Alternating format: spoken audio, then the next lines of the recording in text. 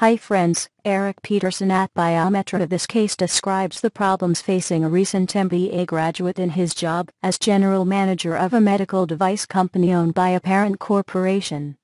It raises issues of corporate divisional relationships and the difficulties facing an inexperienced manager who seems to be receiving little support.